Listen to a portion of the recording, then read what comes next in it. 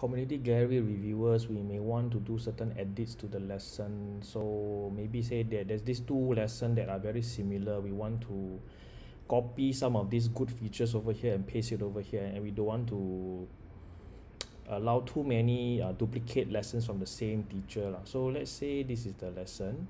So we go to the lesson that is already published. So this is the published lesson.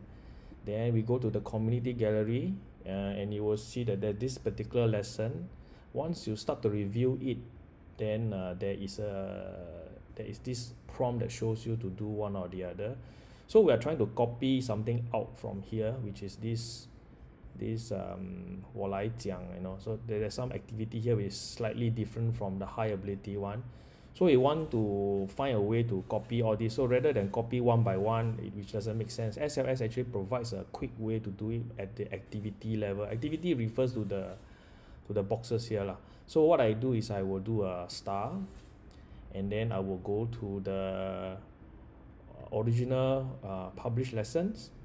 So the published lessons now I will do an edit okay then I go to the section that I want the, the activity section that I want to add.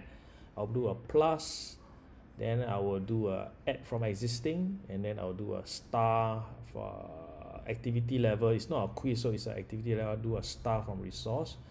And you should be able to see it somewhere um, depending on how extensive is your star resources. So I have I have think I think is this fella here so I will choose it then I will select the the specific 我来讲